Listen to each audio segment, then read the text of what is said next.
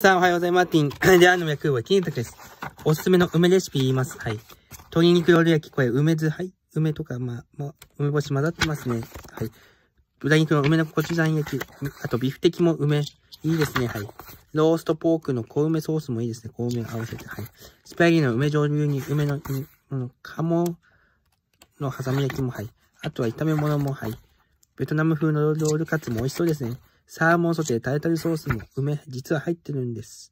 はい。タルタルの中に。ホッケも梅入っててびっくりです。イカの梅ドレッシングマリネ。まあ、梅ドレッシングも作り方があるそうです。おかずサラダ、まあ、ポーチドエッグ入りに、はい。ブリと水煮の梅入りサットに、はい。梅入り卵焼き、梅でも簡単です。はい。鶏手羽先の梅、つに、梅酒に、はい。アンベと梅ガツのチーズ挟み焼きに、あとは韓国ドレッシング、まあ、サラダの、はい。カブと梅干しととろろ昆布のワン仕立てもいいです。はい。いろいろ梅ディップソープス、何でもいいんです。まあ、どれでも美味しそう。梅干しと梅いちごの天ぷら、初めて知りました。はい。五平餅も梅に合います。長芋とリンゴのサラダでも、はい。